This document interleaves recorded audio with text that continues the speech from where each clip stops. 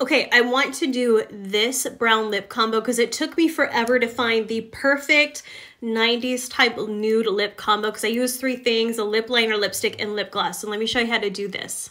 Start with MAC Cork Lip Liner and just line the lips.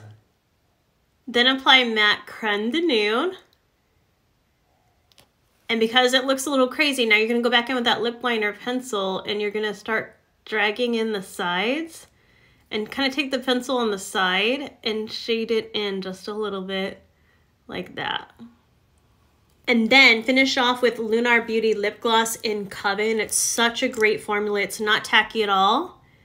And just put it on and that's gonna meld this whole thing together and make your lips look really full. And that's it. So.